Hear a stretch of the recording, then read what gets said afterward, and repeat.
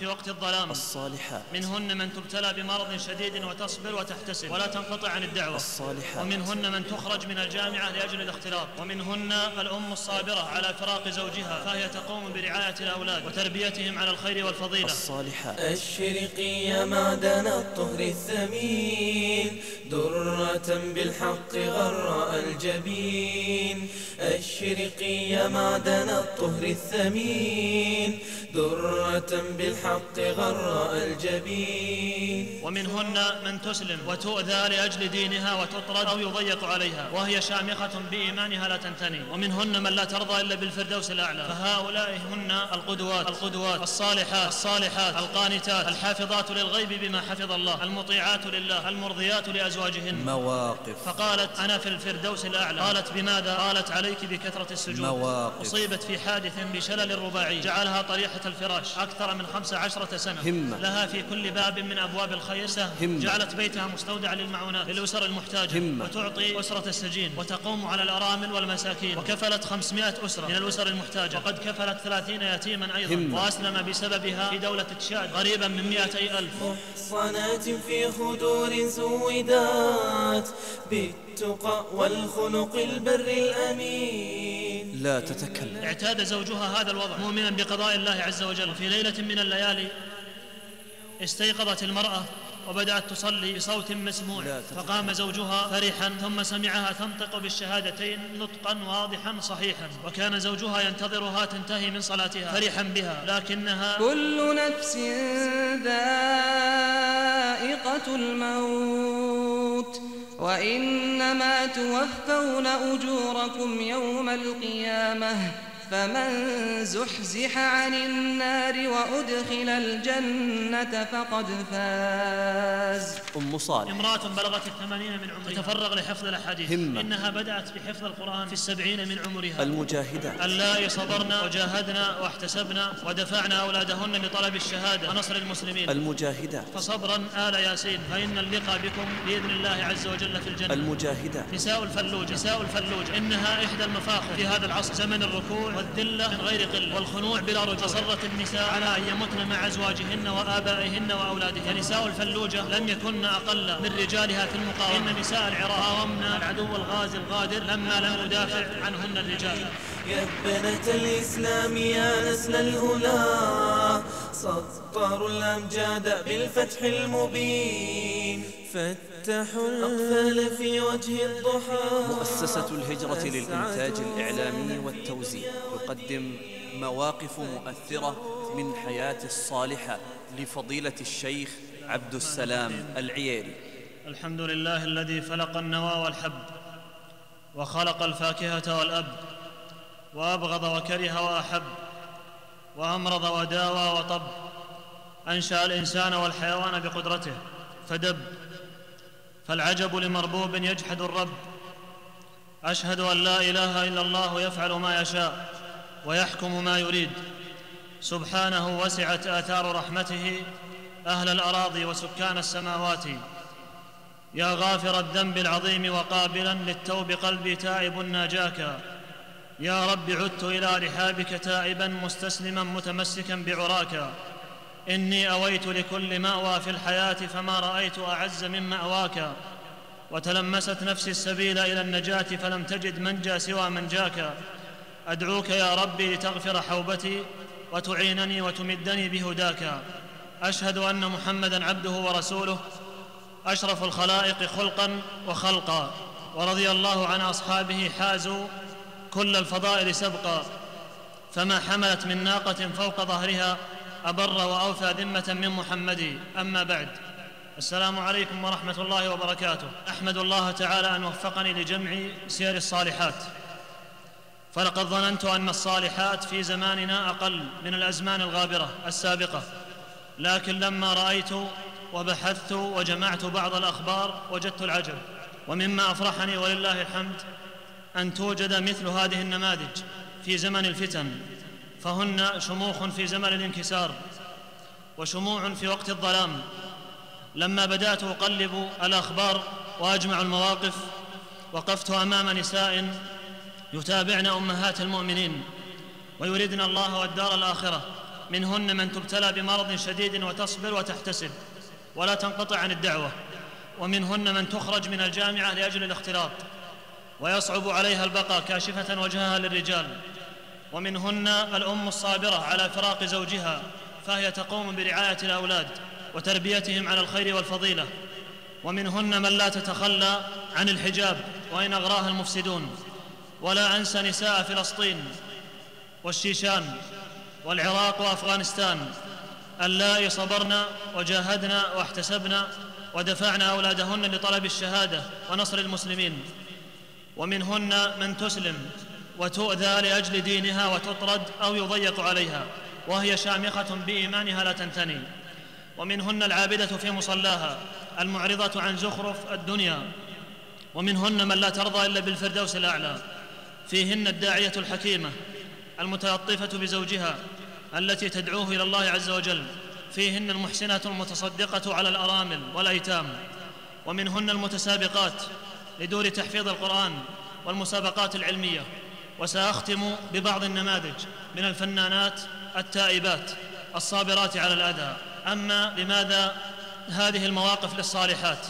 فلأننا في زمن كثرت فيه الفتن ولمع الفساد وضخمت أدوار المفسدات وتهجم المفسدون على المرأة المسلمة وحجابها وحيائها بشتى الوسائل.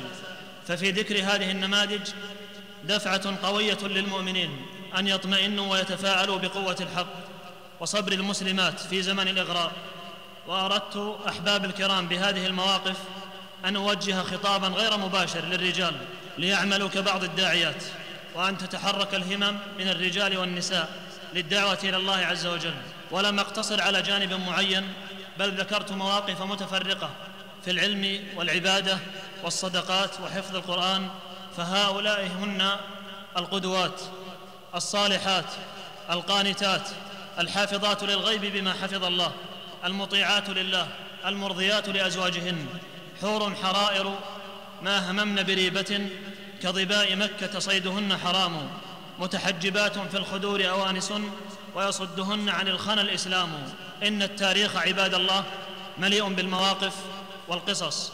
لكن حرصت أن تكون هذه النماذج من زماننا هذا من نساء عشنا في عصرنا ليكون الخبر أكثر وأثرا.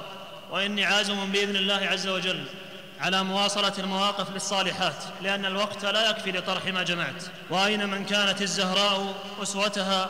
ممن تقفت خطى حمالة الحطب. هذه المحاضرة لم أوجهها للمستقيمات أو الداعيات فحسب بل لكل النساء. فإن كانت مسرفة على نفسها أو غافلة فلتقتدي بهؤلاء القدوات.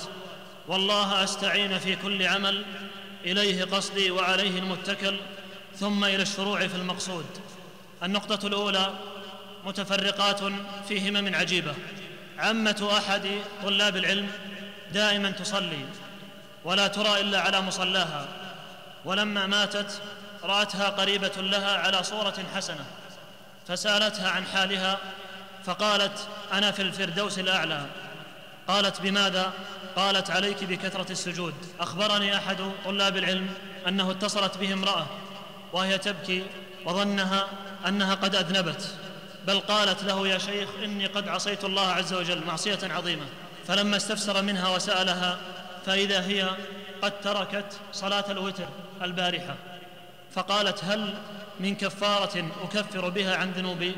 امرأة أخرى تتمنى أنها إذا دخلت الجنة أن تجلس تحت شجرة وتصلي وتعبد الله عز وجل لحبها للصلاة وتعلقها بها. في السنة الماضية سافرت معنا هذه المرأة وهي من قريباتي سافرت معنا إلى المدينة وقد شق عليها وقت النهي فكانت تبحث عن فتوى أو دليل أو قول لأحد أهل العلم تريد أن تصلي في وقت النهي حتى تستغل بقاءها ووقتها في الحرم. تقول إحدى مديرات دور تحفيظ القرآن. لما افتتحنا الدار كان عندنا درج في الشارع ولم نجعل ممرا للعربات لا لكبيرات السن ولا للمعوقات. قالت وفي اليوم الأول للتسجيل فوجئنا بامرأة تجاوزت الستين. من عمرها وهي تحبو على الدرج تريد الدخول للدار فالتحقت بهم لكن صعب عليها الاستمرار بعد مدة ولم تستطع أن تواصل الحفظ لكبر سنها وقعدت في بيتها. أم العلامة محمد بن إبراهيم رحمه الله لما ولدته كانت صائمة يوم عاشوراء. امرأة أخرى عقد لها سحر وعرضت عليها الرقية الشرعية فامتنعت ولا تريد أن ترى الرجال ولا يراها الرجال. فبدأت تعالج نفسها بالقرآن أشهرا تقرأ على نفسها سورة البقرة كل ليلة حتى فك الله عز وجل ما بها من السحر. إن مسنا الضر أو ضاقت بنا الحيل فلن يخيب لنا في ربنا امل أخرى من الصالحات. حفظت القرآن وهي فوق الستين. وأخبارها عجيبة لكن ملخص الخبر وملخص هذا الموقف أو المواقف لها أنها تجاوزت الستين ولما ختمت القرآن في رمضان الماضي استاجرت امرأة لا تعرفها ولا تعرفها النساء اللاتي حولها حتى تسمع لها القرآن كاملا ولا يعلم بخبرها إلا قلة من النساء وأخذت العهد على بعض النساء أن لا يخبرن أحدا فتاة بكر كانت حاملا. فصعدت الطائرة في أول حمل لها ولم يعلم بحملها لما أرادت أن تصعد وكانت مع زوجها في الطائرة فبدأ بها المخاض للولادة فتحملت وتصبرت ولم تخرج صوتا ولا تالما وتخشى أن يظهر صوتها للرجال وإذا سأل أحد الموظفين زوجها ما بها قالت تشكو من بعض الآلام. فكانت صابرة لا تريد أن تلد بين الرجال بل ولا حتى بين النساء أو يسمع صوتها الرجال أو يراها أحد واشتد بها المخاض وخرج منها الماء قبل الولادة ثم خرج منها الدم وهي صابرة محتسبة ولما نزلوا للمطار وهبطت الطائرة دعا قائد الطائرة بالإسعاف وحضر رجلان من رجال الإسعاف ولم ترضى أن تلد في الطائرة حتى بعد الهبوط. فلما ذهبوا بها إلى غرفة الإسعاف ولدت عند الممرضات وصبرت وتحملت ولم ترضى أن تلد بين الرجال. فتاة أخرى لها همة عظيمة شابة معاقة أصيبت في حادث بشلل رباعي جعلها طريحة الفراش أكثر من خمس عشرة سنة. امتلأ جسمها قروحا وتآكل اللحم بسبب ملازمتها للفراش. ولا تخرج الأذى من جسدها إلا بمعاونة أمها لكن عقلها متدفق وقلبها حي مؤمن. ففكرت أن تخدم الإسلام ببعض الأمور فوجدت بعض الأساليب والطرق التي تنفع بها دين الله عز وجل أو تنفع بها نفسها وتنشر دين الله عز وجل. فجعلت ما يلي اولا فتحت بيتها لمن شاء من النساء أن يزورها أو حتى من الناس من أقاربها ومحارمها أن يزورها ليعتبر بحالها. فتأتيها النساء ودارسات التحفيظ ثم تلقي عليهن محاضرة بصوتها المؤثر. ثانيا جعلت بيتها مستودعا للمعونات العينية والمادية للأسر المحتاجة. وتقول زوجة أخيها إن ساحة البيت الكبيرة لا أستطيع أن أسير فيها من كثرة المعونات للأسر الضعيفة. ثالثا تجهز المسابقات على الكتب والأشرطة وتوزعها على الأسر المحتاجة مع المواد الغذائية. ويقول أحد محارمها إني لا أستطيع أن أحضر المسابقات إلا من طريق فلانة. رابعا لا تدع منكرا من المنكرات من منكرات النساء إلا وتتصل على صاحبة المنكر وتنكر عليها. أيضا تزوج الشباب والشابات عن طريق الهاتف. سادسا تساهم في إصلاح ذات البين وفي حلول المشاكل الزوجية. إنها امرأة عجيبة والله. امرأة أخرى تطلب من النساء دائما الفائض من الكتب والأشرطة والمجلات فتعطيها زوجها ليوزعها على محلات الحلاقة وأماكن الانتظار في المستشفيات. من الهمم العالية فكرة عائلية. فكرت إحدى الداعيات فوضعت جدولا فيه تقييم لسلوك الطفل وحرصه على الصلاة وأخلاقه مع والديه ومع أخوانه وحرصه على النظافة وحرصه على حفظ القرآن وطاعة الوالدين وقامت بتوزيعه على أفراد عائلتها. في الاجتماع الأسري الأسبوعي فأعطت كل أم جدولا تقيم ابنها خلال الأسبوع وفي الاجتماع الأسبوعي توزع بعض الجوائز للمتفوقين. تقول إحدى الأمهات رأيت تحسنا عظيما كبيرا في سلوك أطفالي انتظارا لجائزة الأسبوع. أخرى لا يطيعها زوجها أن تذهب للمحاضرات فبدأت تتصل على النساء اللاتي تعرفهن من الجيران ومن الأقارب ومن الزميلات فتحثهن على حضور المحاضرات وهي قليلة الحضور للمحاضرات. امرأة أخرى في مدينة الرياض لها في كل باب من أبواب الخير سهم فهي تساعد الراغب للزواج وتعطي أسرة السجين وتقوم على الأرامل والمساكين. ومن أعمالها أنها تسببت في بناء سبع مساجد في المملكة. وكفلت خمسمائة أسرة من الأسر المحتاجة وقد كفلت ثلاثين يتيما أيضا وأسلم بسببها في دولة تشاد بأفريقيا قريبا من مئتي ألف رجل وامرأة. امرأة أخرى فتحت دارها للعلم والدعوة والتحفيظ فلما كثرت النساء والأطفال عندها فتحت دارا على حسابها وعلى حسب جمعها مما تجمع من النساء فتحت دارا في مكان آخر. امرأة أخرى أحبها ابن الجيران واتفقا على الزواج فتزوجا من غير رضا أهلها وانتقلا إلى قرية أخرى ثم رزقها الله عز وجل ببنت وبعد شهور من زواجها وحصول الولد لها تصالحت المرأة مع أهلها فعادت إليهم وتابت إلى الله عز وجل واعتذرت من والديها والتزمت بالحجاب. وتبين لها بعد مدة أن زوجها وهو ابن الجيران الذي أخذها من غير رضا أبيها تبين لها أنه مشعوذ ويقع في السحر ليتكسب من طرق الشعوذة. فحاولت بشتى الطرق أن تدع هذا الرجل فهربت عند والديها وبقيت عندهم مدة طويلة. فانفصلت عنه وطلقها هذا المشعوذ فعوضها الله عز وجل برجل صالح وعاشت معه عيشة سعيدة. وبدأت تحفظ القرآن وتتعلم الأحكام. وقد ضحت هذه الفتاة بزوجها مع أنها لم تصل إلى العشرين. أما إقبال النساء على العلم فقد بلغ ببعض النساء أنهن يستمعن للكتاب الواحد أكثر من شرح من أشرطة العلماء وإحداهن قرأت فتح الباري ثلاث مرات بل لها تلخيص على فتح الباري. وفي الرياض أكثر من 190 دارا نسائية لتحفيظ القرآن فيها أربعون ألف امرأة أو يزدنا وأقيمت مرة محاضرة في مدينة الرياض ووصل حضور النساء إلى عشرة آلاف امرأة. وقبل المغرب بساعة وصل العدد كما يقول أحد أهل العلم عن إحدى قريباته وصل العدد إلى قبل المغرب بساعة سبعة آلاف امرأة. من الأخبار أيضا مرض الأولاد قد يكون سبب الهداية. تقول أم ولد أصيب بشلل وفقد وعيه مدة عامين في المستشفى ثم خرج إلى البيت بعد تحسن شيء من حاله.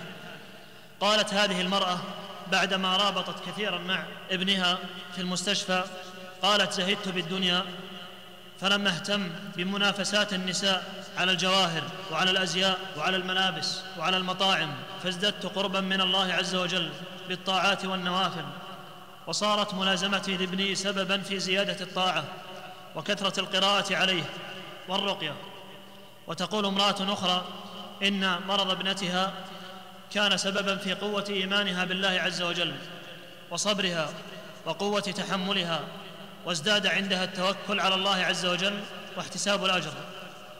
أما بعض المريضات فيقولن من أحسن الهدايا لنا أثناء الزيارة وأيام العيدين أن يأتي أحد الزوار بمصحف أو بشريط قران أو بمحاضرة أو أن يأتي بكتب نافعة. وهذه أم عبد الرحمن تأتي مع زوجها من أقصى جنوب الرياض إلى أقصى شرقه. يتركها زوجها في المستشفى للعلاج ويذهب هو لدوامه وتمر عليها فترات تحتاج إلى المستشفى كل يوم تقريبا. فاستغلت هذه المرأة الداعية المريضة جلوسها الطويل في المستشفى وانتظارها لدورها في العلاج. استغلت الوقت بالدعوة إلى الله عز وجل والتذكير به سبحانه وزيارة المريضات وتقوم بتعليمهن الصفة الصحيحة للطهارة والصلاة وأحكام طهارة المريض. ولا تترك فرصة لدعوة ممرضة أو طبيبة إلا وتقوم بالدعوة. وهكذا تتنقل بين الأقسام. وقد نفع الله عز وجل بها نفعا عظيما. فاللهم اشفها وعافها. فما أعظم الأجر تحمل في جسمها المرض وفي قلبها النور والإيمان والدعوة إلى الله عز وجل وتقوم بتنفيس الكربات عن المحزونين والمرضى. والله عز وجل الموعد. وهذه امرأة أخرى لازمت رعاية زوجها المريض أكثر من عشر سنوات. لم تغادر البيت من أجله وتغلق المكيف وتصبر على الحر والأذى لأجله. وكانت لا تترك صيام الاثنين والخميس مع ما يعتريها من التعب الشديد. امرأة أخرى مات زوجها وهي في الثلاثين من عمرها وعندها خمسة من الأبناء والبنات. أظلمت الدنيا في عينها وبكت حتى خافت على بصرها وطوقها الهم وعلاها الغم فأبناؤها صغار وليس عندها أحد يقوم بها ولم يلتفت أحد لشأنها ولم يصرف عليها أحد. كانت لا تصرف مما ورثته من زوجها إلا القليل لئلا تحتاج إلى أحد. وذات مرة كانت في غرفتها في شدة يأس وانتظار لفرج الله عز وجل ففتحت إذاعة القرآن وسمعت شيخا يقول قال رسول الله صلى الله عليه وسلم من لزم الاستغفار جعل الله له من كل هم فرجا ومن كل ضيق مخرجا ورزقه من حيث لا يحتسب. تقول هذه المرأة فبدأت أكثر من الاستغفار وآمر أبنائي به وما مر بهم ستة أشهر حتى جاء تخطيط مشروع على أملاك لهم قديمة فعوضت هذه المرأة عن أملاكهم بملايين. ووفق الله عز وجل ابنها أحد أبنائها فصار الأول على أبناء منطقته وحفظ القرآن كاملا. وصار الولد محل عناية الناس واهتمامهم ورعايتهم لما حفظ القرآن. تقول وملأ الله عز وجل بيتنا خيرا وصرنا في عيشة هنية وأصلح الله كل ذريتها وأذهب الله عنها الهم والغم. وصدق الله عز وجل. ومن يتق الله يجعل له مخرجا ويرزقه من حيث لا يحتسب. ومن يتوكل على الله فهو حسبه. إن الله بالغ أمره. قد جعل الله لكل شيء قدرا. امرأة جاءها المرض. رجل صالح عابد.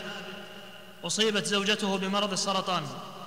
ولها منه ثلاثة أبناء فضاقت عليهما الدنيا بما رحبت وأظلمت عليهما الأرض فأرشدهما أحد العلماء إلى قيام الليل والدعاء في الأسحار مع كثرة الاستغفار والقراءة في ماء زمزم واستخدام العسل فاستمر على هذه الحالة وقتا طويلا وفتح الله عز وجل على هذا الرجل وعلى زوجته بالدعاء والابتهال والتضرع وكان يجلسان بعد الفجر إلى طلوع الشمس ومن صلاة المغرب إلى صلاة العشاء على الذكر والدعاء والاستغفار فكشف الله عز وجل ما بها وعافاها وأبدلها جلدا حسنا وشعرا جميلا.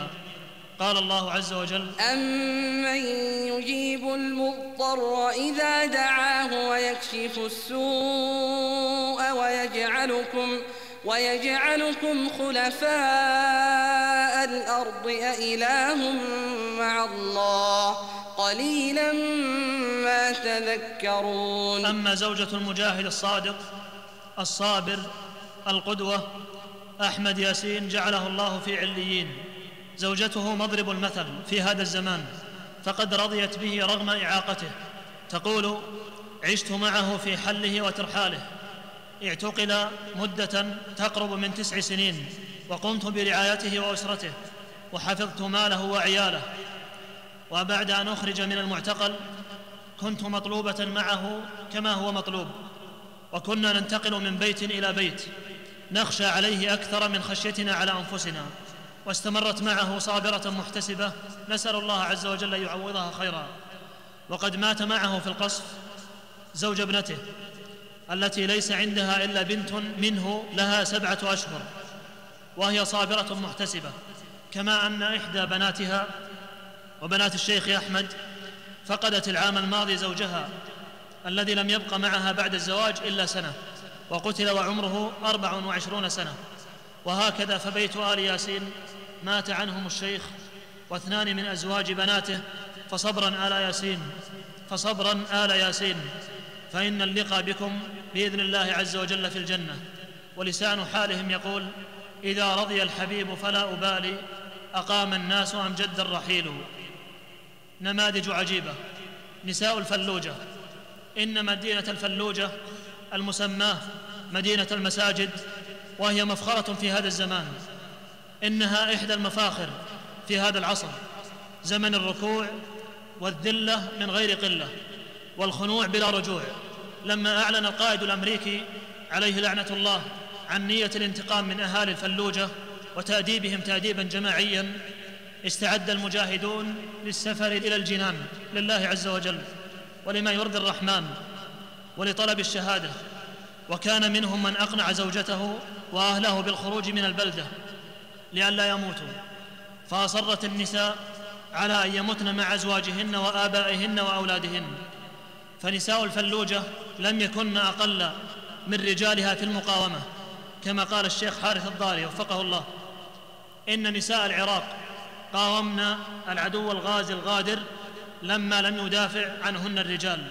وصدق من قال وراء كل رجل عظيم امرأة عظيمة إنهن يردن ما عند الله عز وجل كما الرجال.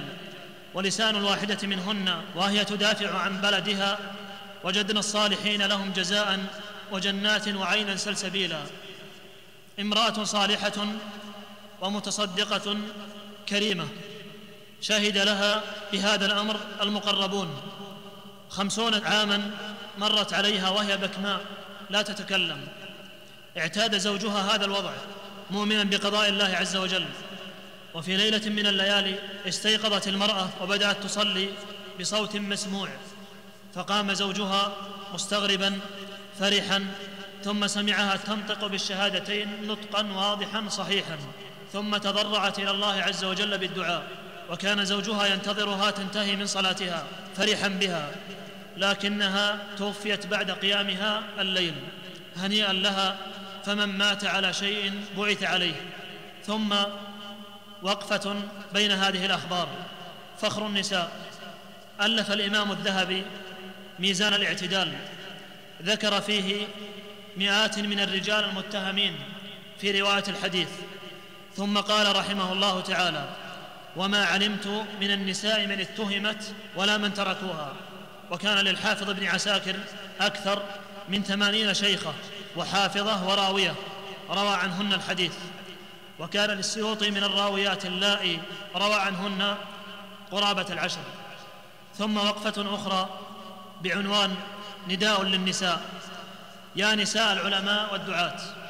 الإمام أحمد رحمه الله تعالى ذكر زوجته بعدما ماتت فقال رحمه الله مكثنا عشرين سنة ما اختلفنا في كلمة. يا زوجة العالم ويا زوجة طالب العلم ويا زوجة الداعية إن العالم ليس لك وإن طالب العلم للناس وإن الداعية لبذل الخير للغير. فاحتسب الأجر إذا انشغل أو سافر أو سهر في طلب العلم. وأحمد الله عز وجل أنه يقوم ويرفع عن هذه الأمة فرض الكفاية وربما لا يقوم بأعمال إلا وأنت معه في الأجر. تبذلين الراحة له ولا تشغلينه بالطلبات وتحفظين عليه وقته وأولاده. والعوض من الله عز وجل. إننا نعجب كثيرا كثيرا من بذل العلماء ومواقف العظماء لكننا ننسى أن معهم في بيوتهم نساء ماجدات خالدات يدفعنهم للخير والعلم. فلا تظنن أن العظيم من الرجال قام لوحده بل وراء كل عظيم امرأة عظيمة امرأة داعية. ذكر أحد الدعاة عن امرأة في روسيا امرأة غريبة في الدعوة إلى الله عز وجل والصبر على التعليم. قد صنعت هذه المرأة ما لم يصنعه الرجال. ظلت هذه المرأة خمس عشرة سنة تدعو إلى الله عز وجل سرا أيام الحكم الشيوعي وتنتقل من بيت إلى بيت وتعلم النساء القرآن وتخرج الداعيات ولم تغفل أيضا عن أسرتها ولا عن أولادها. فأولادها من كبار الدعاة في روسيا وأزواج بناتها الأربع كلهم من الدعاة أيضا. واحد أزواج بناتها هو مفتي البلدة التي تقيم فيها هذه المرأة. امرأة لتمسكها بحجابها أسلم على يديها سبعة أشخاص. طالبة أمريكية متمسكة بحجابها معتزة بدينها أسلم بسببها ثلاثة من الدكاترة في الجامعة وأربعة من الطلبة. لما أسلم أحد الدكاترة بدأ يذكر قصته ويقول يقول قبل أربع سنوات ثارت عندنا زوبعة كبيرة في الجامعة حيث التحقت بالجامعة طالبة مسلمة أمريكية وكانت متحجبة وكان أحد الأساتذة من معلميها متعصبا لدينه يبغض الإسلام كان يكره كل من لا يهاجم الإسلام فكيف بمن يعتنق الإسلام؟ وكان يبحث عن أي فرصة لاستتارة هذه الطالبة الضعيفة لكنها قوية بإيمانها. فكان ينال من الإسلام أمام الطلاب والطالبات وكانت تقابل شدته بالهدوء والصبر والاحتساب فازداد غيظه وحنقه. فبحث عن طريقة أخرى ماكرة فبدأ يترصد لها بالدرجات في مادته ويلقي المهام الصعبة عليها في البحوث ويشدد عليها بالنتائج. ولما لم تستطع التحمل وانتظرت كثيرا وتحملت تحملا عظيما قدمت شكوى لمدير الجامعة للنظر في وضعها فأجابت الجامعة طلبها وقررت أن يعقد لقاء بين الطرفين مع جمع من الأساتذة لسماع وجهة نظر البنت مع المعلم بحضور بعض الدكاترة والأساتذة والطلاب.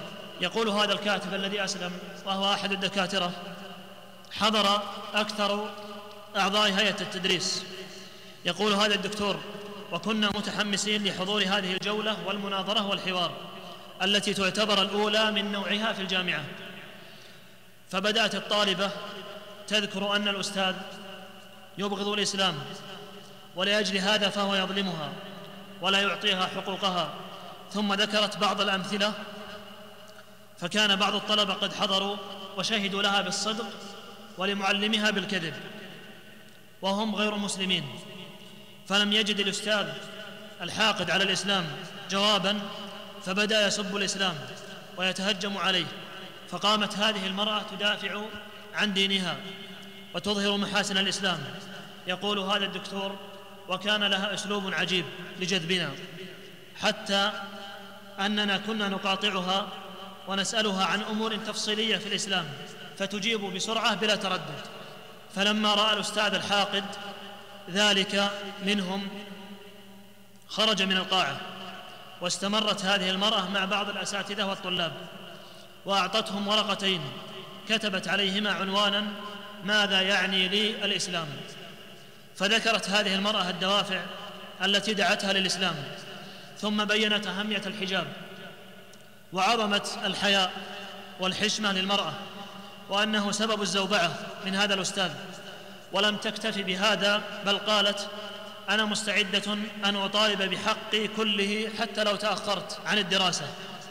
يقول هذا الكاتب لقد أعجبنا بموقفها وثباتها ولم نتوقع أن الطالب بهذا الثبات والتحمل. وتأثرنا بصمودها أمام الطلاب والمعلمين. فصارت المحجبة هي قضية الجامعة أياما. يقول فبدأ الحوار. يدور في عقلي وفي قلبي حتى دخلت إلى الإسلام بعد عدة أشهر. ثم تبعني دكتور ثان وثالث في نفس العام. ثم أصبحنا جميعا دعاة إلى الإسلام. إنها امرأة قليلة المثيل في هذا الزمان. حدثني أحد إخوانها بخبرها. لقد ماتت رحمة الله عليها قبل مدة ليست بالطويلة. هي مدرسة في الأخلاق العالية يحبها الصغير والكبير كما قال عنها أهلها وزوجها.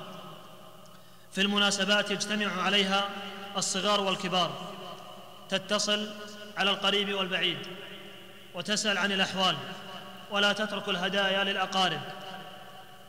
هي امرأة زاهدة ثيابها قليلة وثيابها رثه أصيبت هذه المرأة بمرض السرطان ومن صبرها نسأل الله عز وجل أن يجعلها في الفردوس الأعلى من صبرها وثباتها بقيت سنة ونصف لم تخبر أحدا إلا زوجها وأخذت عليه العهد والميثاق والأيمان المغلظة الا يخبر أحدا ومن صبرها وثباتها رحمة الله عليها أنها لا تظهر لأحد شيئا من التعب والمرض فلم يعلم بها حتى أولادها وابنتها الكبيرة التي تخرج معها إذا خرجت لم تعلم بمرض أمها. إذا جاءها أحد محارمها أو أحد إخوانها أو ضيوفها من النساء فإنها تستعد وتلبس الملابس وتظهر أنها طبيعية. وكان أحد إخوانها أحس بأنها مريضة وفيها شيء. فقد انتفخ بطنها وظهر عليها علامات المرض ولما الحوا عليها الحاحا عظيما أخبرتهم بشرط الا تذهب إلى المستشفى. تريد الاكتفاء بالقرآن والعسل وماء زمزم ولما ألحوا عليها وأخبروها بأن هذا الأمر والعلاج والدواء لا ينافي التوكل وافقت وشرطت أن تذهب إلى مكة. قبل أن تذهب إلى المستشفى تذهب إلى مكة ثم ذهبت في الصيف الماضي مع أهلها وبقيت قرابة الأسبوعين. لما رجعت من العمرة وذهبت إلى الدكتور شرطت أن لا يدخل عليها أحد. غير الدكتور غير رجل واحد مع وجود زوجها وكانت متحجبة ومغطية وجهها. ولابسه القفازين ولم تكشف إلا موضع الألم المحدد في جزء من البطن حتى لا يرى شيئا آخر منها.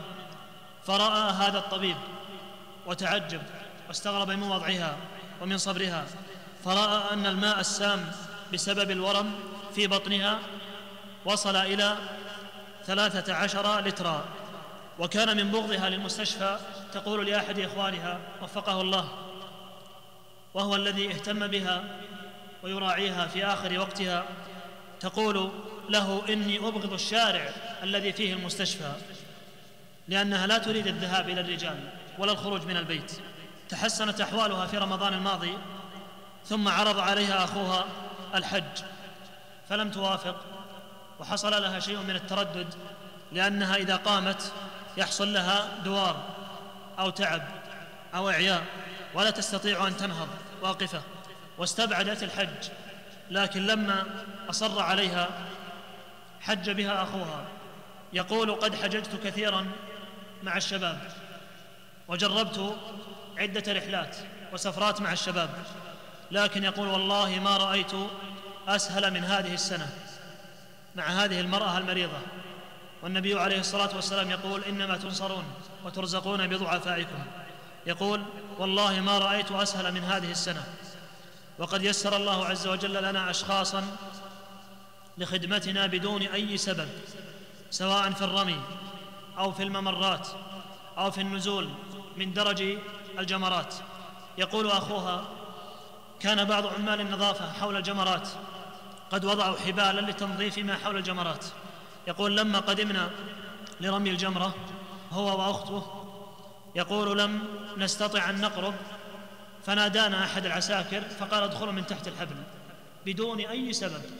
وحصل لهم هذا الأمر في الدور الثاني في اليوم الثاني. ولما أرادوا النزول ناداهم أحد العساكر بدون أي سبب.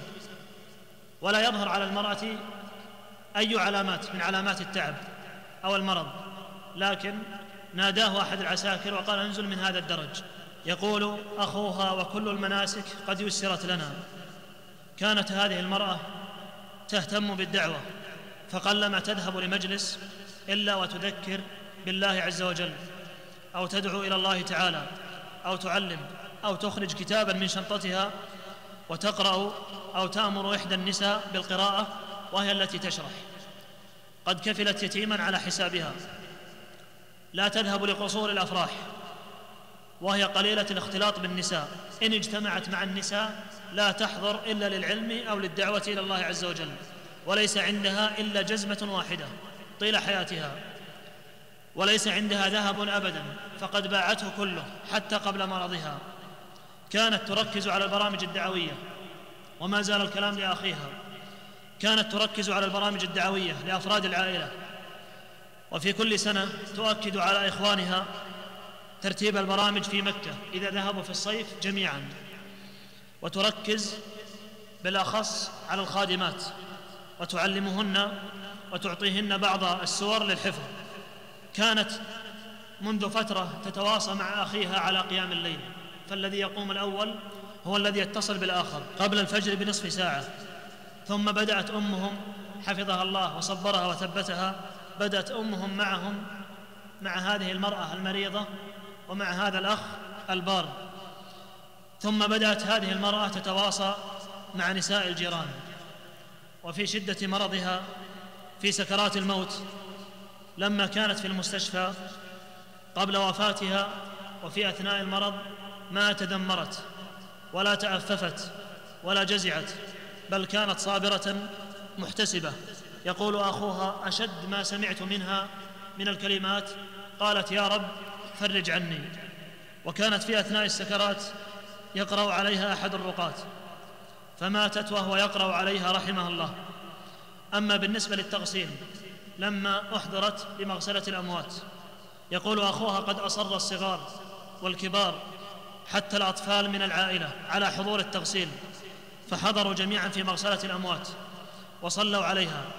أما أخوها الذي كان يلازمها فقال لقد رأيتها لما أخرجت من الثلاجة. قد تغير الشحوب الذي كان فيها والتعب وانقلب إلى نور وبياض.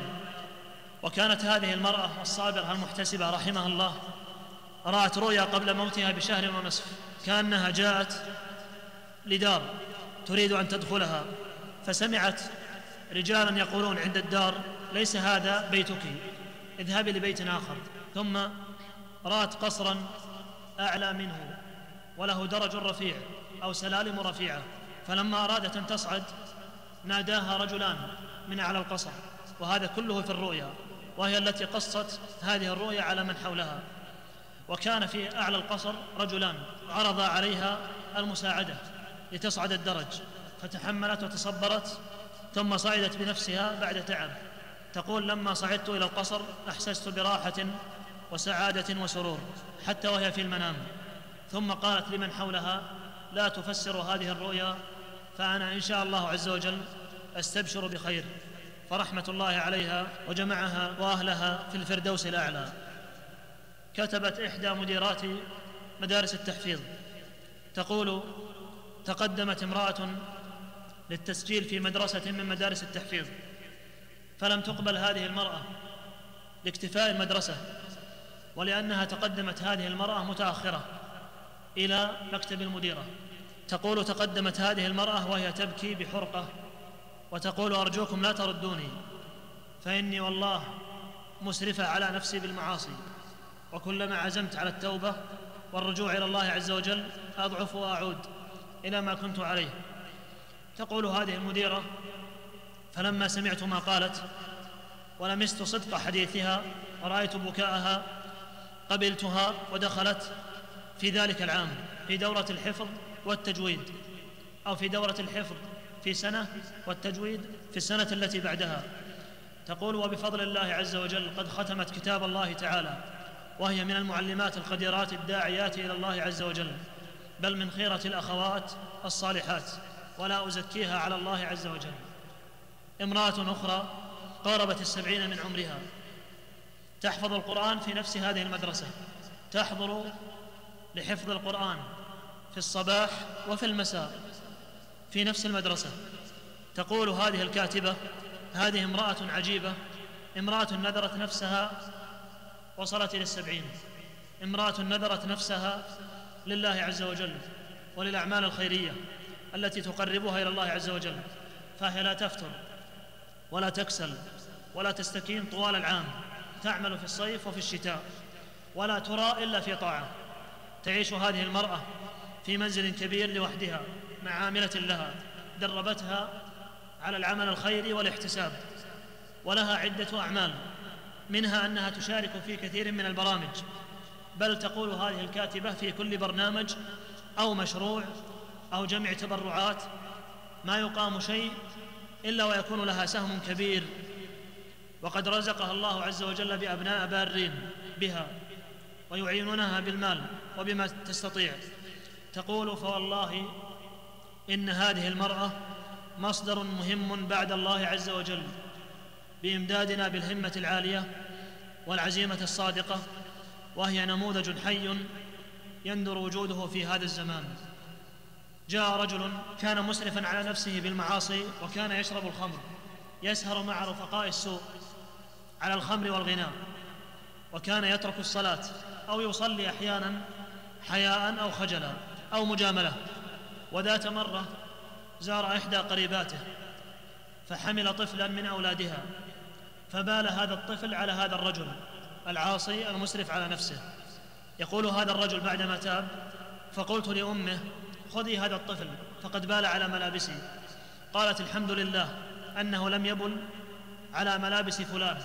وكان قد حضر معه أحد أقاربها من محارمها فاستغرب هذا الرجل الذي هو العاصي وكلنا ذاك الرجل وقال ما السبب؟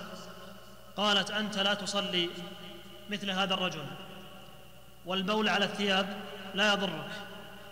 بهذه الكلمات القليلة أنت لا تصلي لست مثل هذا الرجل البول على الثياب لا يضرك.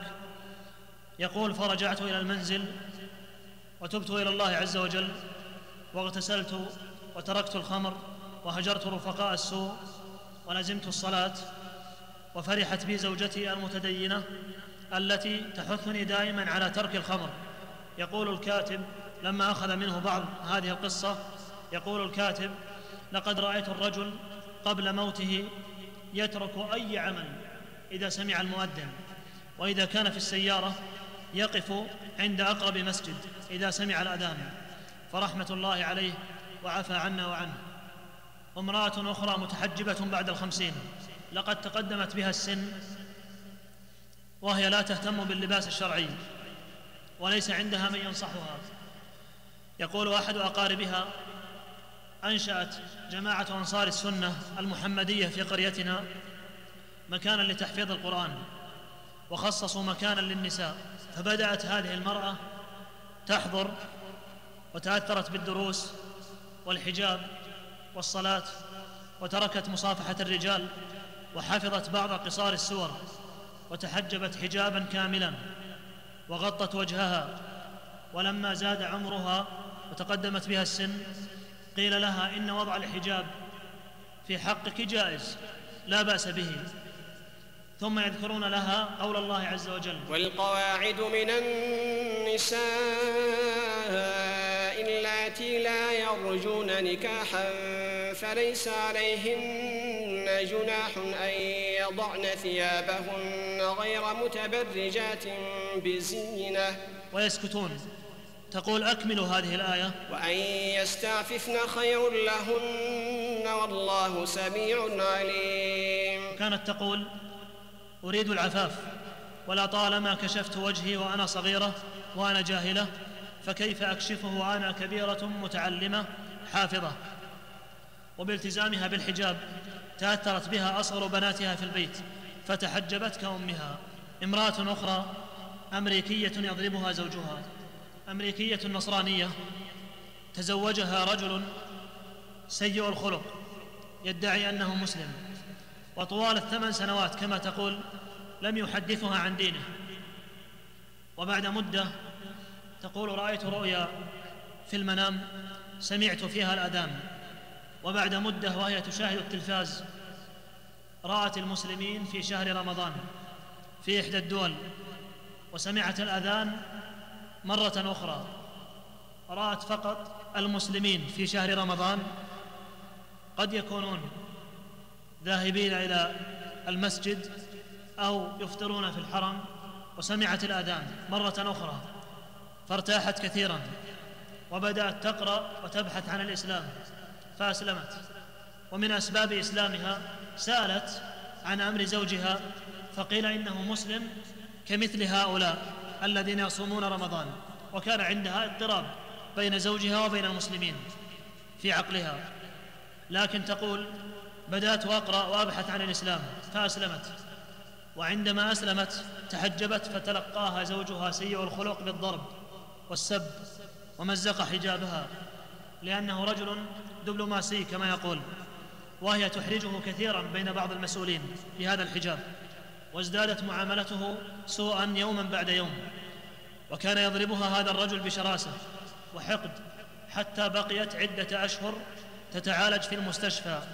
بسبب ضربه وعملت ثلاث عمليات في العمود الفقري واستعملت كرسي العجلات سنة ونصف وصل بهم الأمر إلى الطلاق. وقد رفعت هذه المرأة عليه دعوى عند القاضي. لكن كانت تقول هل أسقط الدعوى عن هذا الرجل وأفوض أمري إلى الله عز وجل؟ أو أطالبه به مع أني سأضطر وأقف أمام القاضي وهي لا تريد ذلك لأنها احتمال أن تخضع لفحص طبي لأجل تكميل الدعوة القضائية فتضطر معها إلى عرض جسدها على الأطباء. فهذا الذي دعاها لإسقاط الدعوة واستمرت هذه المرأة على دينها متمسكة بحجابها لم يغير دينها هذا الرجل سيء الخلق. امرأة أخرى ما زالت تنصح زوجها من أول الزواج. أن يترك التدخين واستمرت معه بالنصح حتى رزقهما الله عز وجل الطفل الأول. وأخرى كانت تنصح زوجها في ترك هذه العادة السيئة ولا يقبل ولا يهتم ولا كأنها تكلمه. ففي ذات مرة تقول دخل علينا ابننا البالغ ثلاث سنوات وفي فمه سيجارة وبدون شعور منه صفع ابني وابنه وهي أول مرة يضرب زوجي أحد أبنائه لأنه رحيم بهم يحبهم ويعطف عليهم. فقالت الزوجة بهذه الكلمات القليلة اليسيرة استغلت هذا الموقف ودعت زوجها إلى الله عز وجل وقالت إنه يعتبرك القدوة لذلك يعمل مثل هذا العمل. فخرجت هذه الكلمات من قلب صادق ناصح فوقعت في قلبه فأقلع من ذلك اليوم عن التدخين. كلمة مؤثرة كانت متهاونة بالصلاة زوجها كثير الأسفار. ولذا فإنها اعتادت على الخروج دائما من المنزل بلا استئذان حتى مع وجود زوجها تخرج بدون استئذان. وكان إذا قدم من السفر يغضب إذا رأى خروجها وينصحها بعدم الخروج ويحثها كثيرا على تربية الأولاد. تقول هذه المرأة لم أهتم كثيرا بما كان يقول وكنت أخرج بدون استئذان وكنت ألبس الملابس الفاخرة وأتعطر بأحسن العطر وسمعت ذات مرة أنه سيقام في منزل أحد الأقارب محاضرة لإحدى الداعيات فذهبت إلى حضورها حبا للاستطلاع. فتحدثت هذه المرأة الداعية الحكيمة عن بعض مخالفات النساء حتى أبكت الحاضرات. قالت فتأثرت بها وسألتها عن حكم خروجي من البيت من غير إذن الزوج فبينت لي أن هذا حرام إلا بإذن الزوج وأرشدتها أن لا تتبرج وأن تحافظ على نفسها. قالت لما قدم زوجي من السفر اعتذرت منه وطلبت منه السماح والعفو واستأذنته للخروج مرة من المرات. فقال منذ متى وأنت تستأذنين مني؟ فقالت له هذا الخبر وهذه القصة. فحمد الله عز وجل على نعمة الهداية. لا تنكروا أثر الكلام فإنه أثر عجيب في النفوس مجرب. امرأة حفظها حجابها سافر زوجها وتركها مع أولادها وأوصى أخاه الكبير بأن يأتي لزوجته وأن يقوم بأعمال البيت ويتابع الأولاد. تقول هذه المرأة كان يأتي هذا الأخ الكبير كل يوم تقريبا وكان لطيفا في أول أيامه. لكن لما أكثر التردد علينا وليس عندي محرم ولم أتحجب بدأت تظهر منه تصرفات غريبة. حتى قدم زوجي وكنت أريد أن أفاتح زوجي بالموضوع لكن خفت من المشاكل. ثم سافر زوجي مرة أخرى ورجع أخوه إلى حالته الأولى. من الحركات الغريبة والكلام العاطفي وبدأ يعاكس زوجة أخيه وبدأ يحضر كل وقت لسبب ولغير سبب. تقول هذه المرأة لقد تعبت من تصرفاته فكرت في الكتابة لزوجي لكن تراجعت حتى لا أضايقه لأنه في بلد آخر يبحث عن المعيشة وحتى لا تحصل مشاكل. وقلت لا بد من نصيحة هذا الخائن الغادر. ونصحت هذا الرجل الذي ليس برجل لكن لم ينفع فيه النصح.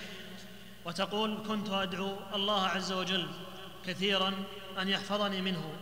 تقول فطرات علي فكرة ففكرت في لبس الحجاب وتغطية وجهي وكتبت لزوجي بأني سأترك مصافحة الرجال الأجانب فشجعني زوجي وأرسل لي كتبا وأشرطة وعندما جاء شقيق زوجي كعادته ذاك الخائن ورآني ملتزمة بالحجاب وقف بعيدا وقال ماذا حصل؟ قلت لن أصافح الرجال ولن يراني إلا محارمي. فوقف قليلا ثم نكس رأسه فقلت له إذا أردت شيئا فكلمني من وراء حجاب. فانصرف فكف الله عز وجل شره عنها. امرأة أخرى متمسكة بصلاتها إلا أن زوجها يحبها كثيرا ويغار عليها وهو كثير الشكوك في زوجته ورزقهم الله عز وجل بولدين. تقول لكن ما زال شكاكا في أمري. تقول وفكرت بطلب الطلاق أكثر من مرة. وهي كما تقول متمسكة بصلاتها وليس عندها ملاحظات أو ذنوب أو معاصي. تقول كان إذا سافر أرتاح وإذا حضر فنحن في مشاكل. تقول فتعبت كثيرا من كثرة التفكير وما هو الحل. فلم نجد حلا إلا ترك مصافحة الرجال ثم التزمت بالحجاب الشرعي وغطيت وجهي فلا يراها أحد. فبعد أن تحجبت تحسن حال زوجها ولم يعد شكاكا في زوجته. فتاة تأثرت بمحجبة من زميلاتها. تقول هذه البنت تجولت مع أسرتي في أكثر من دولة عربية. لاحظت أن بعض نساء الريف يلبسن ملابس طويلة ساترة ولا يظهرن أمام الرجال. الاجانب اعتقدت أن هذا الأمر من عادات البلاد ولم أعرف أن هذا من تعاليم الإسلام. تقول لما عشنا في مصر بدأت بالدراسة في المرحلة الثانوية وجلست بجانبي طالبة محجبة وسألتني أول ما جلست قالت لماذا أنت يا فلانة؟ لا تتحجبين. أو لم تتحجبي تقول لم أرد عليها ونظرت إليها باستغراب ثم انصرفت عنها لكنها لم تتركني فأخذت تنصحني وتعلمني طوال العام تعاليم الدين وأشياء لم أتصور في يوم من الأيام أنها محرمة. تقول ومما ساعدني على تقبل نصحها أني كنت أحبها كثيرا لأدبها وأخلاقها وحيائها وتفوقها في الدراسة. تقول انتهى العام وانقطعنا. تقول فأحسست بالوحشة لأني فقدت تلك الداعية الصالحة وابتعدت عن الحجاب وعن الخير. وكنت إذا نظرت للمحجبات أتمنى أن أتحجب وإذا نظرت إلى السافرات أطمح ان أكون مثلهن في العناية بالمظهر وجذب الشباب. تقول فانتقلنا أخيرا إلى المملكة. وكانت تلك البنت المترددة بين الصالحات وغيرهن كانت في الصف الثالث الثانوي.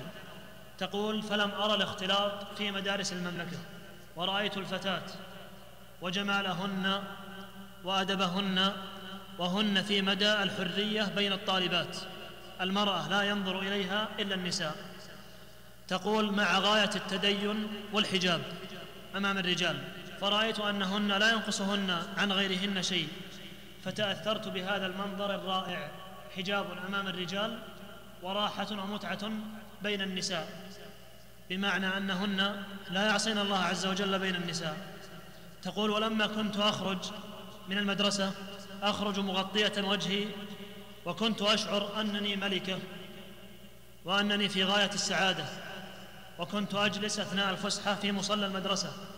أستمع للذكر والعلم فأخرج في كثير من الأحيان وأنا باكية متأثرة. وأحب من ينصحني وتبقى النصيحة عالقة في ذهني لا تغيب. ما أحلى الأيام مع الله عز وجل. وقد تخلصت من كل ما يغضب الله تعالى. ثم كتبت هذه البنت بعدما التزمت بالحجاب نصيحة للمرأة أن تحافظ على حجابها وشرفها وعفتها وحذرت النساء من السفور وتصديق أدعياء الحرية. أما ما جاء عن أم صالح امرأة في قصتها شيء من العجب والطول فتحملوا قليلا. أم صالح امرأة بلغت الثمانين من عمرها تتفرغ لحفظ الأحاديث. إنها نموذج فريد من أعاجيب النساء. أجرت مجلة الدعوة حوارا معها فقالت هذه المرأة إنها بدأت بحفظ القرآن في السبعين من عمرها. بدأت بالحفظ في السبعين. امرأة صابرة عالية الهمة قالت هذه الحافظة الصابرة كانت أمنيتي أن أحفظ القرآن الكريم من صغري وكان أبي يدعو لي دائما بأن أحفظ القرآن كإخواني الكبار. فحفظت ثلاثة أجزاء ثم تزوجت وأنا في الثالثة عشرة من عمري وانشغلت بالزوج وبالأولاد. ثم توفي زوجها ولها سبعة أولاد كانوا صغارا.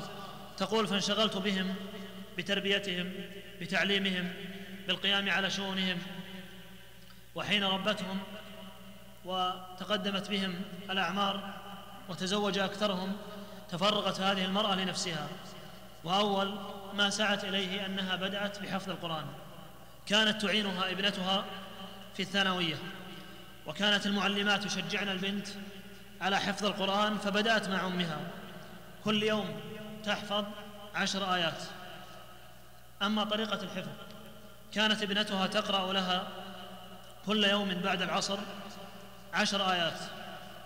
ثم ترددها الأم ثلاث مرات. ثم تشرح لها البنت بعض المعاني. ثم تردد هذه الأم الآيات العشر ثلاث مرات أخرى. ثلاث ثم شرح ثم ثلاث. وفي صباح اليوم الثاني تعيدها البنت لأمها قبل أن تذهب للمدرسة. وكانت هذه المرأة الكبيرة في السن تستمع لقراءة الحصري كثيرا وتكرر الآيات أغلب الوقت حتى تحفظ. فإن حفظت أكملت. إن لم تحفظ فإنها تعاقب نفسها وتعيد. حفظ الأمس تعيده في اليوم مع بنتها. وبعد أربع سنوات ونصف حفظت هذه الأم اثنا عشر جزءا ثم تزوجت البنت ولما علم الزوج بشأنها بشأن زوجته مع أمها وطريقة الحفظ استاجر بيتا قريبا من منزل الأم وكان يشجع البنت وأمها ويحضر معهن أحيانا ويفسر لهن الآيات ويستمع لحفظهن. واستمرت هذه البنت بعد زواجها مع أمها ثلاثة أعوام أيضا ثم انشغلت بأولادها هذه البنت ثم بحثت البنت عن مدرسة تكمل المشوار مع الأم فأتت لها بمدرسة فأتمت حفظ القرآن. هذه المرأة الكبيرة أتمت حفظ القرآن. وما زالت ابنتها إلى إجراء الحوار مع أمها والبنت تواصل الحفظ حتى تلحق بالأم الكبيرة في السن. وقد حفظت القرآن بعد أكثر من عشر سنوات. أما النساء حولها فتأثرن بها فبناتها وزوجات أبنائها تحمسن كثيرا. وكن دائما يضربن المثل بهذه الام العجيبة. وبدانا بحلقة أسبوعية في منزل الأم للحفظ. فصارت هي العالمة بينهن أو الحافظه بينهن. وقد أثرت هذه المرأة بحفيداتها فكانت تشجعهن على الالتحاق بدور التحفيظ. وتقدم لهن الهدايا المتنوعة. أما جارات بيتها جيران منزلها فأول الأمر كن يحبطن عزيمتها ويرددن إصرارها على الحفظ لضعف حفظها. ولما رأينا استمرارها وصبرها بدأنا يشجعنها. تقول هذه الأم المربية العجيبة التي حفظت القرآن بعد الثمانين تقول حينما علمت هؤلاء النسوة أني حفظت القرآن رأيت دموع الفرح منهن. وهذه المرأة كثيرا تستمع لإذاعة القرآن وتقرأ في صلاتها السور الطويلة. بدأت بالحفظ وعمرها تجاوز السبعين. ثم لم تكتفي هذه المرأة بحفظ القرآن فانتقلت إلى حفظ الأحاديث النبوية. فهي تحفظ إلى إجراء الحوار تسعين حديثا وتحفظ مع إحدى بناتها. وتعتمد على الأشرطة وتسمع لها ابنتها كل أسبوع ثلاثة أحاديث. استمرت هذه المرأة أكثر من عشر سنوات في الحفظ. تقول أحسست بارتياح عجيب بعد حفظ القرآن وغابت عني الهموم والأفكار وملات وقت فراغي بطاعة ربي. اقترحت عليها بعض النسوة أن تدخل في دور تحفيظ القرآن. فأجابت هذه المرأة وردت إني امرأة تعودت على الجلوس في البيت ولا تحمل الخروج. وتدعو كثيرا لابنتها وتشكرها أنها بذلت معها الكثير الكثير. تقول وهذا من أعظم البر والإحسان خاصة أن البنت كانت في مرحلة المراهقة وما زال الكلام للأم. خاصة أن البنت في مرحلة المراهقة التي يشكو منها الكثير فكانت البنت تضغط على نفسها وعلى دراستها لتفرغ نفسها لتعليم أمها بصبر وحكمة. ثم ختمت هذه المرأة الصالحة وقالت لا يأس مع العزيمة الصادقة ولا يأس مع قوة الإرادة والعزم والدعاء. ثم البداية في حفظ القرآن. ثم قالت والله ما رزقت الأم بنعمة أحب إليها من ولد صالح يعينها على التقرب إلى الله عز وجل. صدق الشاعر حيث قال بصرت بالراحة الكبرى فلم ارها تنال إلا على جسر من التعب. معلمة ماتت. توفيت إحدى المعلمات الداعيات مع زوجها في حادث فكتبت عنها بعض الطالبات بعض المقالات في إحدى المجلات. فمن ذلك قالت إحداهن رحمك الله أستاذتي جعلت جل اهتمامك الدعوة وجعلت نصب عينيك إيقاظ القلوب الغافلة. فأنت المنار الذي أضاء لنا الطريق. لن ينساك مصلى المدرسة لكن سيفقد صوتك العذب وكلامك الرصين والقصص الهادفة التي تاتين بها والمواعظ الحسنة. ولن أنسى جموع الكلمات التي تصدر منها ولن أنسى المعلمات ولا الطالبات اللائي يسرعن لحضور درسك في وقت الاستراحة.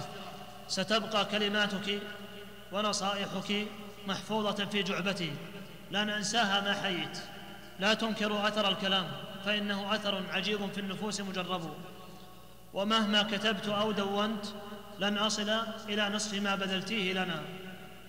وقالت بنت أخرى عن هذه المعلمة ما زالت كلماتها في قلبي إلى الآن. لما قالت لي ناصحة لي إن للإيمان طعما حلوا لم يتذوقه إلا من أطاع الله عز وجل. ما زالت القصص التي قلتيها في قلبي ووجداني. لقد رأيتها في المنام قبل وفاتها. سمعت صوتا حول هذه المعلمة يقول هذه المرأة على طريق العلماء. تقول فلما أخبرتها تبسمت رحمها الله. أما مع الفنانات التائبات وأختم بهن هذه المحاضرة. الفنانات كان لهن دور في نشر الرذيله والأفكار الهدامة ففي رجوعهن إلى الله عز وجل دعوة واضحة لمن يتابعهن أن أحسن طريق في الحياة طريق الهداية والطاعة والقرآن. تقول الفنانة سهير رمزي لأول مرة بعدما تابت. تقول لأول مرة أذوق طعم النوم قريرة العين مطمئنة البال مرتاحة الضمير. وأما سبب هدايتها فعجيب. كانت سهير رمزي قبل أن تتحجب ولما كانت تزاول الفن حضرت في مركز لتعليم القرآن والاجتماع الدعاة والداعيات في مصر. وكان هذا المركز بمال إحدى التائبات من الفنانات. وهي ابنة الشيخ الحصري رحمه الله. تقول إن هذه الفنانة التائبة أو الممثلة التائبة لما تابت أقامت هذا المركز وجعلت شيئا من الريع والوقف لأبيها المتوفى وهو القارئ الحصري رحمه الله وثبت ابنته على الحق والخير. تقول كانت هذه الشابة البارة بأبيها رحمه الله تحضر بعض الدعاة فحضر أحد الدعاة لبعض النسوة وكانت هذه سهير رمزي حاضرة بين النساء وهي غير متحجبة. تقول أول ما بدأ الملقي يتكلم تكلم وقال إن تسعة وتسعين من أشراط الساعة الصغرى قد ظهرت وإن هذه الزلازل التي نراها في العام الزلازل الكثيرة في العالم إنها تؤذن بقرب القيامة الكبرى. ثم تلا قول الله عز وجل إذا زلزلت الأرض زلزالها. وأخرجت الأرض أثقالها إلى آخر السورة. تقول فلم أتمالك نفسي وبكيت كثيرا كثيرا وعرفت أني ضائعة وأني تائهة ثم أسندت رأسي على كتف أمي وقلت إني أعلن الرجوع إلى الله عز وجل. ثم لما تابت تقول لأول مرة أذوق طعم النوم قريرة العين مطمئنة البال مرتاحة الضمير. فنانة تائبة أخرى. هالها الصافي تقول لقد شعرت بعدما تابت لقد شعرت بالحياة الحقيقية بعد الهداية. فنانة أخرى اسمها نسرين تقول قبل التوبة تقول لزوجها في بعض المرات إذا رجعوا من بعض السهرات المريبة لا البريئة تقول لزوجها أحس أننا موتى. ولما تابت قالت إننا ولله الحمد لا نشعر باكتئاب ونستمتع بطمأنينة لا حدود لها. وتقول شادية أيضا لما تابت ما أحلى الإيمان وعلى من تذوقه أن يدل الناس على سبيله. وأشعر بالأمان الحقيقي في ظل الإيمان. وقد لاحظت أن من أسباب رجوعهن وسبب عجيب جدا بعض الناس يذهب إلى الحج أو إلى العمرة ولا يتأثر قلبه ولا يبكي. وإذا رأى من يرمي الجمرات والنبي عليه الصلاة والسلام يقول إنما جعل الطواف بالبيت والسعي بين الصفا والمروة ورمي الجمرات لإقامة ذكر الله عز وجل. وقد علمت عن بعض الصالحين أنه لا يتمالك نفسه أبدا إذا رمى الجمرات وإذا وقف للدعاء اقتداء بالنبي عليه الصلاة والسلام. فمن أسباب رجوع كثير منهن رؤية الطائفين. وإذا ذهب بعضهن وهي على حالتها السيئة في الفن تذهب إلى العمرة أو للحج وبعضهن تنهار في الطواف من شدة البكاء وتعاهد الله عز وجل أثناء الطواف أن تتوب إلى الله تعالى. ومن أسباب رجوعهن كثرة الدعاء. تقول هالة فؤاد وقد توفيت رحمها الله. توفيت بسبب مرض خطير لكنها لم تتنازل عن إيمانها وعن دينها وماتت صابرة محتسبة. تقول كنت دائما أدعو الله عز وجل أن يهديني ويريني الصواب وأن يبعدني من الخطأ طيلة سنوات وتقول سهير رمزي كنت أخلو بنفسي في بعض الأوقات أدعو الله عز وجل أن يهديني. وتقول هاله الصافي توسلت إلى الله عز وجل وصليت الاستخارة كثيرا أن يلهمني الصواب. إن كان طريق الفن هو الصواب أن أستمر فيه. وإن كان طريق الحق هو الصواب أن أرجع إليه. ظهرت من عشرات السنين وما زال يتردد ويزداد رجوع الفنانات والمذيعات والممثلات عن الفن ويظهر منهن الإقبال على الله عز وجل وأنهن بأعداد غير قليلة إلا أن الإعلام يتكتم عليهن ولا يظهر شيئا من أمرهن إلا النادر. ومن المعلوم عباد الله أن الفتاة الممثلة أو الراقصة الشهيرة التي تبذل لها الأموال وتؤخذ بالأحضان وتشجع ويلقى عليها على رأسها الأموال الكبيرة جدا والكثيرة لا تضحي هذه الفتاة التي عاشت على المعصية بهذه المغريات الكثيرة إلا إذا كان في قلبها إيمان قوي تحركه فطرة سليمة ومع رجوعهن إلى الله عز وجل إلا أنهن لا يسلمن من شياطين الإنس والجن من شياطين الإنس الذين يأتون لهن تارة بالترغيب والملايين وتارة بالترهيب والتهديد وإخراج الفضايح والصور القديمة ومع ذلك يصبرن ويتحملن. وقد يتهمن بالوسواس أو قلة العقل أو ذبول الجمال أو عدم اهتمام الجماهير لكن هذا لم يغير عددا منهن. من اللائي رجعنا إلى الله عز وجل. وأسأل الله عز وجل أن يثبتنا جميعا على الحق والصلاح. منهن أيضا منى عبد الغني فنانة سابقة أعلنت توبتها إلى الله عز وجل. توبتها لله تعالى. لبست الحجاب وطالبت وسائل الإعلام الا تخرج شيئا من أغانيها ولا صورها. تقول أما بداية هدايتي فقالت كنت أفكر دائما لو جاء الموت إلي وأنا على هذه الحالة وأنا غير مستعدة للقاء ربي فماذا أفعل؟ وكنت أصحو فزعة من النوم أحيانا لأحاسب نفسي بشدة. أريد جوابا لهذا السؤال. أريد تطبيقا لهذا السؤال. قالت كانت أخواتي يرتدين الحجاب وعائلتي متدينة وأخي ممدوح رحمه الله يلح علي دائما بأن ألبس الحجاب. لا تنكر أثر الكلام. تقول قبل وفاته بأربعين يوما كان يحضر لها الأشرطة الدينية والمواعظ عن الموت وعن الآخرة.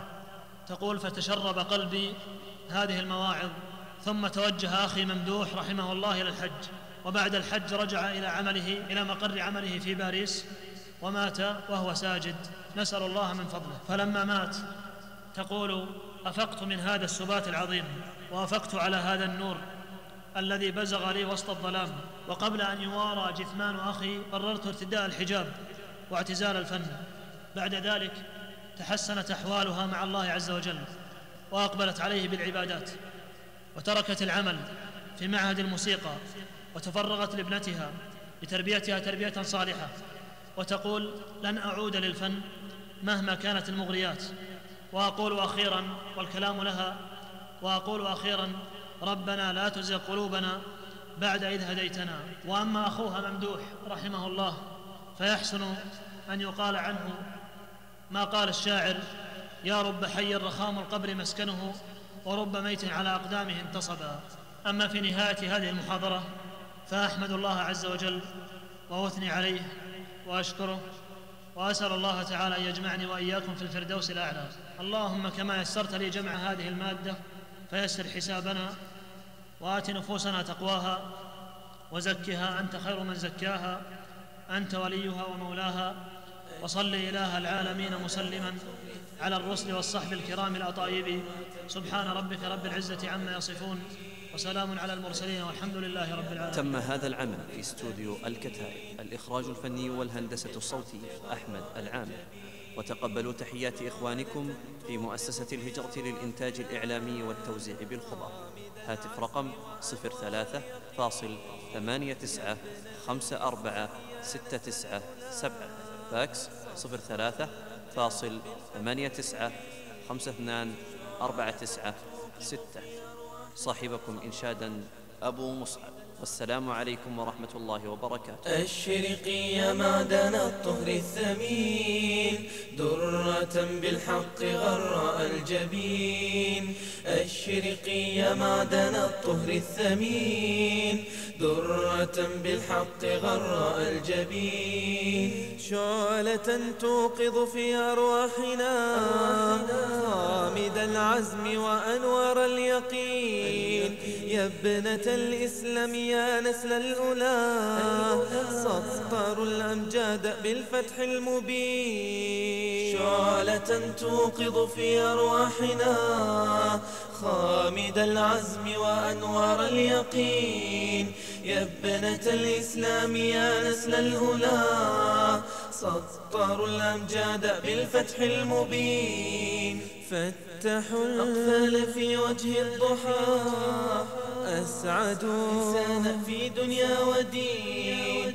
فجروا تلك الينابيع التي تستقي منها قلوب المؤمنين.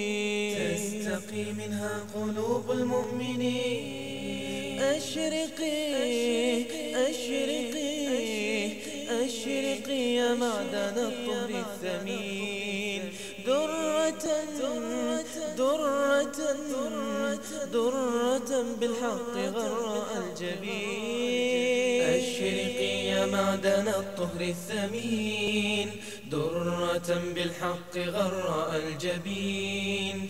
أشرقي يا معدن الطهر الثمين. درة بالحق غراء الجبين. أبشري يا أخت بالفجر الذي سوف يأتي في عيون القادمين. محصنات في خدور زودات بالتقى والخلق البر الأمين. أبشري يا أخت بالفجر الذي سوف يأتي في عيون القادمين. محصنات في خدور سودات بالتقى والخلق البر الأمين. املئي أرض سلاما وهدى والزرع دنيا ورود الياسمين أنت يا إشراق المنى.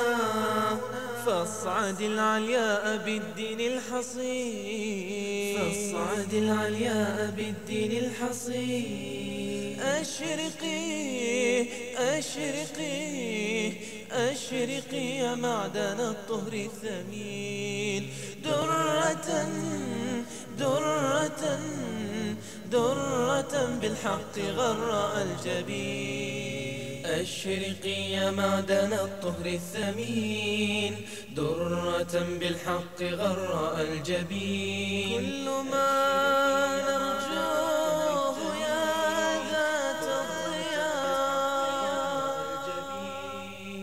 تكوني أن تكوني أن تكوني شرفا في العالمين. أشرقي يا معدن الطهر الثمين. درة بالحق غراء الجبين يا معدن الطهر الثمين. درة بالحق غراء الجبين يا معدن الطهر الثمين. درة بالحق غراء الجبين يا معدن الطهر